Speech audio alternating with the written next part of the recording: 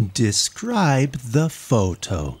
This is a charming photo from Venice, Italy. Venice. In the center of the photo, we can see a little footbridge. Footbridge. Crossing over a small canal. Canal. There are many red bricks on this bridge. Red bricks. There are more than 400 of these small footbridges in Venice. The water is dark green. Dark green. This is one of the 150 canals in Venice. Most of these smaller canals are about 1.5 to 2 meters deep.